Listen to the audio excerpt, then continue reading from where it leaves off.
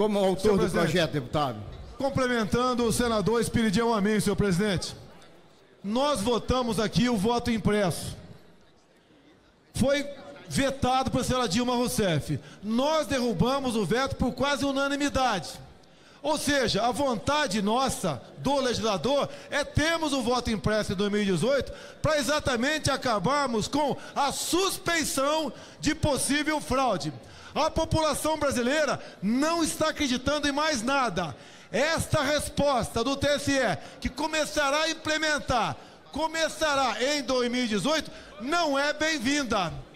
E o TSE ainda dá tempo de procurar o parlamento e arranjar recursos para comprar aqui aquelas impressoras. O custo é baratíssimo.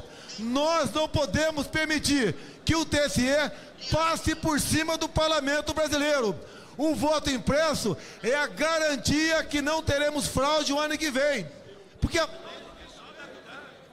Conclua, dos deputado. institutos de pesquisa, que em grande parte não são confiáveis e conduzem para um resultado que não é confiável. O parlamento tem que reagir nessa questão e exigir integralmente o voto impresso ano que vem, como está definido em lei. Muito obrigado.